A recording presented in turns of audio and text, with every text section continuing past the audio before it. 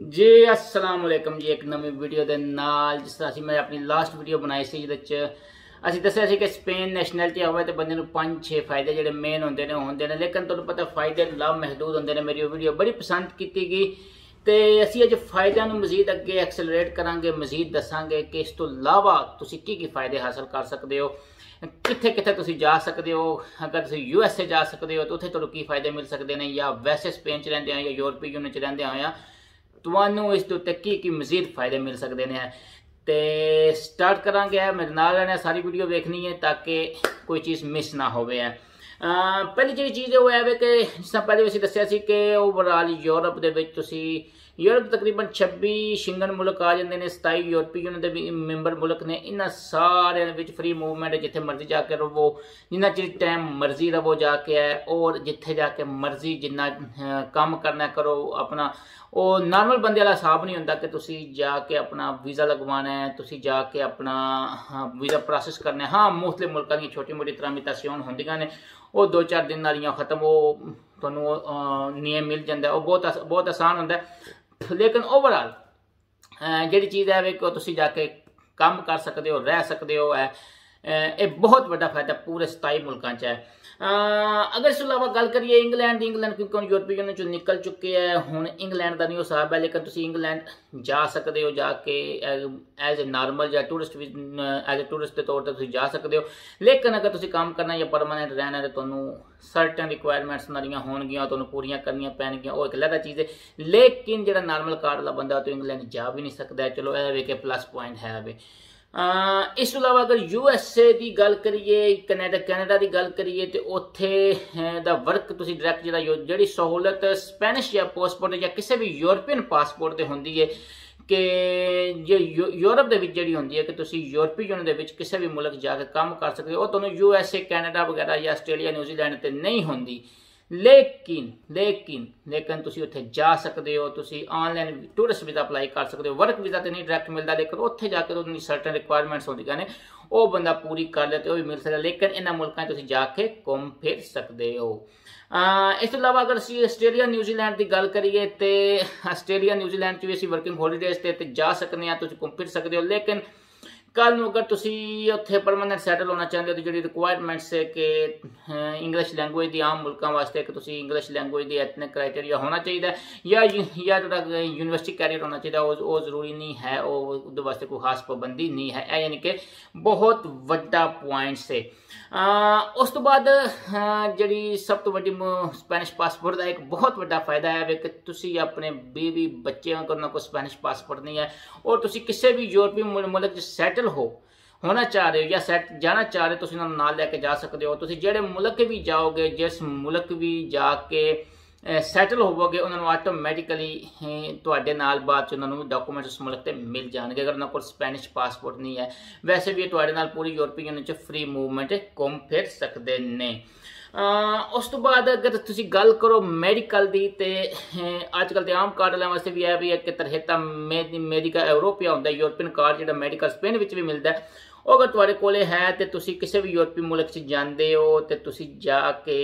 ਤੇ ਉਹ ਆਪਣੀ ਮੈਡੀਕਲ ਫੈਸਿਲਿਟੀ ਤੋਂ ਫਾਇਦਾ ਉਠਾ ਸਕਦੇ ਹੋ। ਉਹ ਜਿਹੜਾ ਯੂਰਪੀਅਨ ਕਾਰਡ ਮੈਡੀਕਲ ਕਾਰਡ ਹੋਵੇਗਾ, ਉਹ ਵੈਲਿਡ ਹੋਵੇਗਾ। ਉਸ ਤੋਂ ਬਾਅਦ ਜਿਹੜੀ ਸਭ ਤੋਂ ਵੱਡੀ ਇੱਕ ਹੋਰ ਬੜੀ ਪਿਆਰੀ ਬਾਤ ਹੈ, ਉਹ ਹੈ ਕਿ ਇਹਨਾਂ ਦੀ ਨਾ ਸੇਮ ਇੱਕ ਹੀ ਮਾਰਕੀਟ ਹੈ।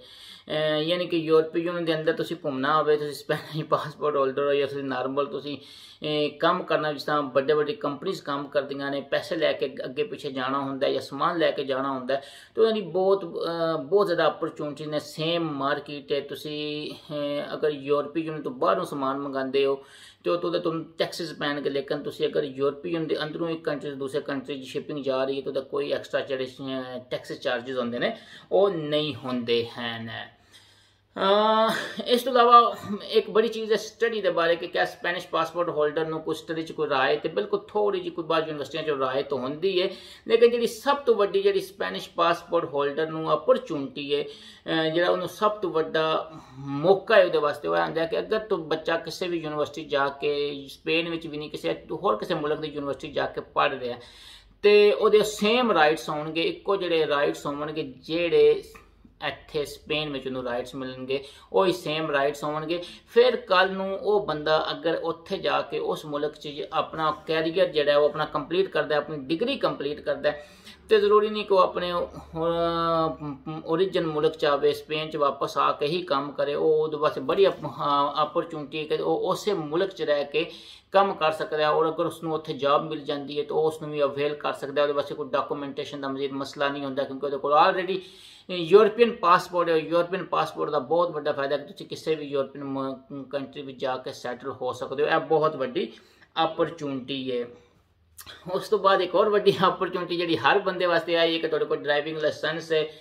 ਤੇ ਉਸ ਨੂੰ ਵੀ ਤੁਸੀਂ ਪੂਰੇ ਯੂਰਪ ਚ ਵੈਲਿਡ ਹੋਵੇਗਾ। ਤੁਸੀਂ ਸਪੇਨ ਦਾ ਡਰਾਈਵਿੰਗ ਲਾਇਸੈਂਸ ਹੈ, ਉਹ ਲੈ ਕੇ ਪੂਰੇ ਯੂਰਪ ਤੁਸੀਂ ਕੰਮ, ਮਤਲਬ ਹੈ ਡਰਾਈਵਿੰਗ ਕਰ ਸਕਦੇ ਹੋ। ਤੁਹਾਨੂੰ ਕੋਈ ਬੰਦਾ ਵੀ ਇਸ ਤੇ ਪੁੱਛਦਾ ਨਹੀਂ ਹੈ। ਇਹ ਬਹੁਤ ਵੱਡੀ ਇਹਨਾਂ ਦੀ ਆਪਸ ਚ ਇਹਨਾਂ ਦਾ ਬਹੁਤ ਵੱਡਾ ਫਾਇਦਾ ਹੈ। ਉਸ ਤੋਂ ਬਾਅਦ ਇੱਕ ਹੋਰ ਬੜੀ ਵੱਡੀ ਅਪਰਚੂਨਿਟੀ ਉਹ ਹੈ ਪੈਨਸ਼ਨ ਦੀ। ਕਿ ਤੁਸੀਂ ਪੈਨਸ਼ਨ ਵੀ ਕਿਸੇ ਵੀ ਮੁਲਕ 'ਚ ਪੈਨਸ਼ਨ ਲੈ ਸਕਦੇ ਹੋ। ਤੁਸੀਂ ਇੱਕ ਮੁਲਕ 'ਚ ਅਗਰ ਕੰਮ ਕੀਤੇ ਹੈ ਤੇ ਤੁਸੀਂ ਦੂਸਰੇ ਮੁਲਕ ਜਾ ਕੇ ਅਗਰ ਰਹਿ ਰਹੇ ਹੋ ਕੱਲ ਨੂੰ ਔਰ ਤੁਸੀਂ ਉਸ ਮੁਲਕ ਵਿੱਚ ਵੀ ਪੈਨਸ਼ਨ ਲੈ ਸਕਦੇ ਹੋ। ਮਿਸਾਲ ਦੇ ਤੌਰ ਤੇ ਤੁਸੀਂ ਕੁਝ ਅਰਸਾ ਅਗਰ ਕਿਸੇ ਯੂਰਪੀ ਮੁਲਕ, ਕਿਸੇ ਹੋਰ ਮੁਲਕ ਕੰਮ ਕੀਤੇ ਹੈ ਔਰ ਤੁਸੀਂ ਬਾਅਦ ਵਿੱਚ ਸੋਚਦੇ ਹੋ ਕਿ ਮੈਂ ਹੁਣ ਸਪੇਨ ਸੈਟਲ ਹੋਣਾ ਚਾਹੁੰਦਾ, ਮੈਂ ਸਪੇਨ ਆ ਜਾਣਾ ਸਪੇਨ 'ਚ ਕੁਝ ਅਰਸਾ ਕੰਮ ਕਰਨਾ, ਫਿਰ ਕਿਸੇ ਹੋਰ ਮੁਲਕ ਕੁਝ ਅਰਸਾ ਕੰਮ ਕਰਨਾ ਜਿਸ ਤਰ੍ਹਾਂ ਸਪੇਨ ਚ ਪੈਨਸ਼ਨ ਦੀ ਮਿਨੀਮਮ ਜਿਹੜਾ ਕੰਮ ਦੀ ਰਿਕੁਆਇਰਮੈਂਟ ਹੈ ਮਿਨੀਮਮ ਮਿਨੀਮਮ ਜਿਹਨੂੰ ਪੈਨਸ਼ਨ ਕੰਟਰੀਬਿਊਟਿਵਾ ਕਹਿੰਦੇ ਨੇ ਉਹ 15 ਸਾਲ ਹੈ ਉਸ 15 ਸਾਲ ਦੇ ਦੌਰਾਨ ਅਗਰ ਤੁਸੀਂ ਦੂਜੇ ਮੁਲਕਾਂ ਜਿਹੜਾ ਕੰਮ ਕੀਤਾ ਹੋਵੇਗਾ ਯੂਰਪੀ ਯੂਨੀਅਨ ਚ ਉਹ ਵੀ ਤੁਹਾਡਾ ਕਾਊਂਟ ਹੋ ਜਾਏਗਾ ਮਿਸਾਲ ਦੇ ਤੌਰ ਤੇ ਤੁਸੀਂ ਅਗਰ 8 ਸਾਲ ਯੂਰਪੀ ਮਤਲਬ ਦੂਜੇ ਮੁਲਕਾਂ ਚ ਕੰਮ ਕੀਤਾ 7 ਸਾਲ ਤੁਸੀਂ ਸਪੇਨ ਚ ਕੀਤੇ ਆ ਤੇ ਤੁਸੀਂ ਉਹ ਤੁਹਾਡਾ 15 ਸਾਲ ਕਾਊਂਟ ਹੋ ਜਾਏਗਾ। ਉਹ ਯਾਨੀ ਕਿ ਯੂਰਪੀ ਯੂਨੀਅਨ ਦੇ ਕਿਸੇ ਵੀ ਮੁਲਕ ਤੁਸੀਂ ਕੰਮ ਕੀਤਾ ਤੇ ਉਹ ਕਾਊਂਟ ਹੋ ਜਾਏਗਾ ਉਹ ਤੁਸੀਂ ਉਹ ਪੈਨਸ਼ਨ ਸਪੇਨ ਵਿੱਚ ਬਹਿ ਕੇ ਲੈ ਸਕਦੇ ਹੋ। ਜਾਂ ਸਪੇਨ ਤੁਸੀਂ ਕੰਮ ਕੀਤਾ ਤੁਸੀਂ ਬਾਅਦ ਚ ਤੁਸੀਂ ਕਿਸੇ ਦੂਸਰੇ ਮੁਲਕ 'ਚ ਦੂਸਰਾ ਕੰਮ ਕੀਤਾ ਤੁਸੀਂ ਉੱਥੇ ਵੀ ਬਹਿ ਕੇ ਪੈਨਸ਼ਨ ਲੈ ਸਕਦੇ ਹੋ। ਇਹ ਕੋਈ ਇਸ਼ੂ ਨਹੀਂ ਹੈ। ਇਹ ਬਹੁਤ ਵੱਡਾ ਫਾਇਦਾ ਹੈ। ਇਹ ਵੇ ਕਿ ਜਿਹੜਾ ਨਾਰਮਲ ਕਾਰਡ ਹੋਲਡਰ ਜਿਹੜੇ ਨੇ, ਉਹ ਇਸ ਦੀ ਖਾਹਿਸ਼ ਕਰ ਸਕਦੇ ਨੇ ਹੈ ਕਿ ਉਹਦਾ ਤੁਹਾਡਾ ਟੋਟਲ ਟਾਈਮ ਜਿਹੜਾ ਕੰਮ ਦਾ ਉਹ ਕਾਊਂਟ ਹੋ ਜਾਂਦਾ ਹੈ।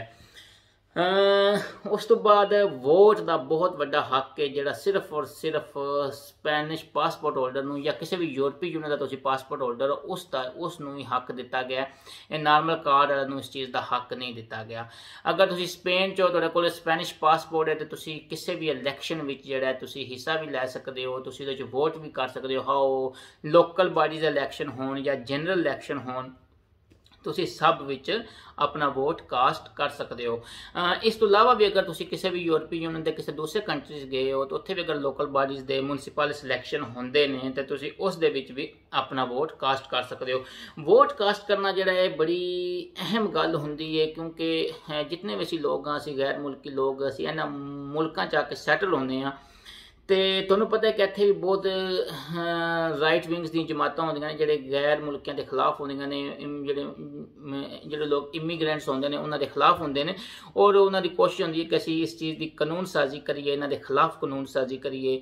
ਤੇ ਉਸ ਚੀਜ਼ ਨੂੰ ਰੋਕਣ ਵਾਸਤੇ ਸਾਡਾ ਇੱਕ ਬੜਾ ਅਹਿਮ ਪਲੇਟਫਾਰਮ ਹੈ, ਇਹ ਵੇ ਕਿ ਅਸੀਂ ਜਦੋਂ ਜਦੋਂ ਵੀ ਕੋਈ ਇਲੈਕਸ਼ਨ ਆਉਣਾ ਹੈ ਜਿੰਨੇ ਵੀ ਲੋਕਾਂ ਕੋਲ ਨੈਸ਼ਨੈਲਿਟੀ ਹੋ ਜਾ ਕੇ ਲੋਕ ਉਹ ਵੋਟ ਕਾਸਟ ਕਰਨ ਹੈ ਔਰ ਉਹਨਾਂ ਜਮਾਤਾਂ ਦੇ ਹੱਕ 'ਚ ਵੋਟ ਕਾਸਟ ਕਰਨ, ਜਿਹੜੀ, ਜਿਹੜੇ ਇਮੀਗ੍ਰੈਂਟਸ ਦੇ ਹੱਕ ਵਿੱਚ ਬੋਲਦੀਆਂ ਨੇ ਜਾਂ ਹੱਕ ਵਿੱਚ ਕੰਮ ਕਰਦੀਆਂ ਨੇ, ਤਾਂ ਕਿ ਇਹ ਇਸ ਨਾਲ ਉਹਨਾਂ ਜਮਾਤਾਂ ਦੀ ਹੌਸਲਾ ਸ਼ਿਕਨੀ ਹੁੰਦੀ ਹੈ, ਜਿਹੜੇ ਇਮੀਗ੍ਰੈਂਟਸ ਦੇ ਖਿਲਾਫ ਨੇ, ਉਹਨਾਂ ਦੀ ਹੌਸਲਾ ਫਜ਼ਾਈ ਹੁੰਦੀ ਹੈ, ਜਿਹੜੇ ਇਮੀਗ੍ਰੈਂਟਸ ਦੇ ਹੱਕ ਵਿੱਚ ਨੇ। ਔਰ ਇਹ ਬਹੁਤ ਵੱਡਾ ਫਾਇਦਾ ਜਿਹੜਾ ਇਹ, ਜਿਹੜਾ ਇਹਨਾਂ ਨੇ ਪਾਸਪੋਰਟ ਹੋਲਡਰ ਨੂੰ ਸਿਰਫ ਦਿੱਤੇ ਆ। ਔਰ ਸਿਰਫ ਤੁਸੀਂ ਸਪੇਨ ਵਿੱਚ ਨਹੀਂ, ਅਗਰ ਤੁਸੀਂ ਕਿਸੇ ਦੂਸਰੇ ਮੁਲਕ 'ਚ ਵੀ ਰਹਿ, ਰਹੇ ਹੋ ਤੁਹਾਡੇ ਕੋਲ ਪਾਸਪੋਰਟ ਹੈ, ਤਾਂ ਤੁਸੀਂ ਉੱਥੇ ਦੇ ਰਹਿائشੀ ਬਣ ਗਏ ਹੋ, ਔਰ ਤੁਸੀਂ ਉਹਦੇ ਵੀ ਮਿਊਨਿਸਪਲ ਇਲੈਕਸ਼ਨ ਵਿੱਚ ਵੋਟ ਕਾਸਟ ਕਰ ਸਕਦੇ ਹੋ।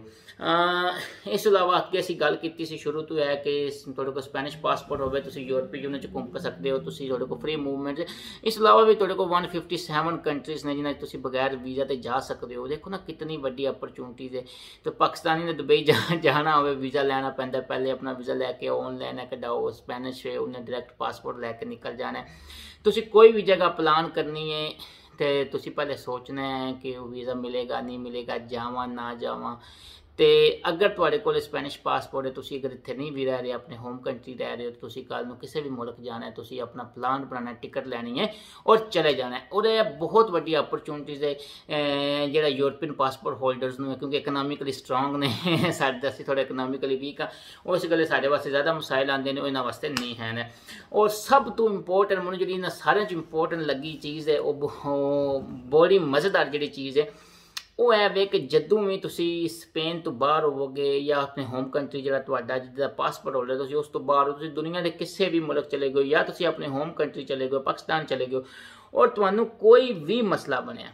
ਤੁਹਾਡਾ ਐਕਸੀਡੈਂਟ ਹੋ ਗਿਆ ਹੈ, ਤੁਹਾਡੇ ਤੇ ਵਾਇਲੈਂਸ ਹੋਇਆ ਹੈ, ਤੁਸੀਂ ਕੋਈ ਉੱਥੇ ਜੁਰਮ ਕਰ ਲਿਆ ਹੈ, ਔਰ ਤੁਹਾਨੂੰ ਕੌਂਸਲਰ ਪ੍ਰੋਟੈਕਸ਼ਨ ਹੋਵੇਗੀ ਹੈ ਕਿ ਤੁਹਾਨੂੰ, ਯਾਨੀ ਕਿ ਤੁਹਾਡੀ ਜਿਹੜੀ ਐਮਬੈਸੀ ਹੈ, ਤੁਹਾਡੀ ਹੈਲਪ ਕਰੇਗੀ ਸਪੈਨਿਸ਼ ਐਮਬੈਸੀ ਨੂੰ ਤੁਸੀਂ ਕੰਟੈਕਟ ਕਰ ਸਕਦੇ ਹੋ। ਤੁਹਾਡੇ ਜਿਸ ਤਰ੍ਹਾਂ ਇੱਥੇ ਅਸੀਂ ਸਪੇਨ ਚ ਸਾਡੀ ਪਾਕਿਸਤਾਨ ਅਸੀਂ ਪਾਕਿਸਤਾਨੀ ਸ਼ਨਾ- ਮਤਲਬ ਪਾਸਪੋਰਟ ਹੋਲਡਰ ਹਾਂ, ਪਾਕਿਸਤਾਨੀ ਸ਼ਹਿਰੀ ਹਾਂ। ਤੇ ਸਾਨੂੰ ਸਾਡੀ ਐਮਬੈਸੀ ਕੋਲ ਅਸੀਂ ਹੈਲਪ ਲੈਣ ਜਾਂਦੇ ਹਾਂ, ਜਿਤਨੇ ਜੋ ਵੀ ਹੁੰਦੇ ਨੇ ਸਾਡੀ ਹੈਲਪ ਕਰਦੇ ਨੇ, ਬਾਅਦ ਦਫਾ ਨਹੀਂ ਵੀ ਕਰਦੇ। ਸੇਮ ਹੀ ਇਸੇ ਤਰ੍ਹਾਂ ਜਦੋਂ ਅਸੀਂ ਪਾਕਿਸਤਾਨ ਚ ਹੋਵਾਂਗੇ, ਸਾਡੇ ਕੋਲ ਕੋਈ ਮਸ਼ੀਸ਼ੂ ਬਣ ਜਾਂਦਾ, ਸਾਡੇ ਕੋਲ ਕੋਈ ਦਲਿਤ ਹੋ ਜਾਂਦਾ, ਕੋਈ ਜਰਮ ਹੋ ਜਾਂਦਾ, ਜਾਂ ਸਾਡੇ ਤੋਂ ਕੋਈ ਵਾਇਲੈਂਸ ਹੋ ਜਾਂਦਾ ਜ਼ਿਆਦਤੀ ਹੋ ਜਾਂਦੀ ਹੈ ਜਾਂ ਕੋਈ ਸਾਡਾ ਐਕਸੀਡੈਂਟ ਹੋ ਜਾਂਦਾ, ਜਾਂ ਇਸ ਤਰ੍ਹਾਂ ਕੋਈ ਵੀ ਇਸ਼ੂ ਬਣਦਾ ਤਾਂ ਅਸੀਂ ਆਪਣੀ ਕੌਂਸੂਲਰ ਜਿਹੜੀ ਸਪੈਨਿਸ਼ ਐਮਬੈਸੀ ਹੋਵੇਗੀ, ਜਾਂ ਸਪੈਨਿਸ਼ ਕੌਂਸੂਲੇਟ ਹੋਵੇਗੀ, ਅਸੀਂ ਉਸ ਨਾਲ ਰਾਬਤਾ ਕਰ ਸਕਦੇ ਹਾਂ ਔਰ ਸਾਨੂੰ ਸਪੈਸ਼ਲ ਜਿਹੜਾ ਉਹ ਸਾਡੇ ਨਾਲ ਤਾਮਨ ਕਰਨਗੇ ਔਰ ਉਹ ਤੁਹਾਨੂੰ ਪਤਾ ਹੈ ਤਾਮਨ ਉਹ ਕਿਸ ਲੈਵਲ ਦਾ ਤਾਮਨ ਹੁੰਦਾ ਹੈ, ਔਰ ਕਿੱਥੇ ਤੱਕ ਉਹ ਸਾਨੂੰ ਪ੍ਰੋਟੈਕਟ ਕਰ ਸਕਦੇ ਨੇ ਹੈ ਕਿਉਂਕਿ ਅਸੀਂ ਹੁਣ ਉਹਨਾਂ ਦੇ ਸ਼ਹਿਰੀ ਹਾਂ ਅਹ ਇਸ ਤੋਂ ਇਲਾਵਾ ਵੀ ਹਜ਼ਾਰਾਂ ਵਜੂਹਾਤ ਨੇ ਜਿਹੜੀਆਂ ਇਹਨਾਂ ਦੇ ਅਹ, ਫਾਇਦੇ ਨੇ ਜਿਹਨਾਂ ਤੇ ਅਮ, ਸਪੈਨਿਸ਼ ਪਾਸਪੋਰਟ ਲੈਣਾ ਚਾਹੀਦਾ ਮੇਰੇ ਇੱਕ ਭਾਈ ਨੇ ਕਿ ਕਮੈਂਟਸ ਕੀਤਾ ਸੀ 8-9 ਫਾਇਦੇ ਉਹਨਾਂ ਨੇ ਵੀ ਦੱਸੇ ਸੀ ਹੈ ਅਹ ਬੜੇ ਮਜ਼ੇਦਾਰ ਫਾਇਦੇ ਸੀ ਹੈ ਇਸ ਤਰ੍ਹਾਂ ਹਜ਼ਾਰਾਂ ਨੇ ਜ਼ਰੂਰ ਨਹੀਂ ਕਿ ਅਸੀਂ ਹਰ ਵੀਡੀਓ 'ਚ ਹਰ ਫਾਇਦੇ ਨੂੰ ਡਿਸਕਸ ਕਰੀਏ ਜਿਹੜੀਆਂ ਸਾਨੂੰ ਇੰਪੋਰਟੈਂਟ ਲੱਗਦੇ ਨੇ ਜਾਂ ਜਿਹੜੀ ਸਾਡੀ ਸਮਝ 'ਚ ਆਉਂਦੇ ਨੇ ਅਸੀਂ ਦੱਸ ਦਿੰਦੇ ਹਾਂ ਬਾਕੀ ਇਸ ਤੋਂ ਇਲਾਵਾ ਵੀ ਕੋ ਹਤਮੀ ਰਾਏ ਤੇ ਕਿਸੇ ਦੀ ਨਹੀਂ ਹੁੰਦੀ ਹੈ ਜੀਵਦੇ ਵਸਤੇ ਰਹੋ ਆਬਾਦ ਰਹੋ ਅੱਲਾ ਸਭ ਨੂੰ ਖੁਸ਼ ਰੱਖੇ ਆਮੀਨ